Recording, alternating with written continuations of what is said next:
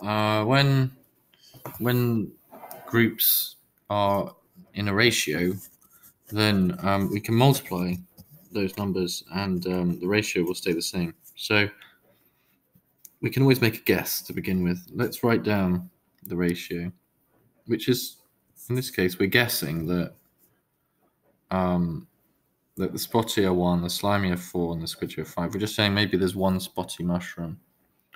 Um, that would give us a total of 10 mushrooms, which is not enough. But um, as I said earlier, um, if we're going to try and get that up to 80, we can multiply everything. And the ratio will stay the same.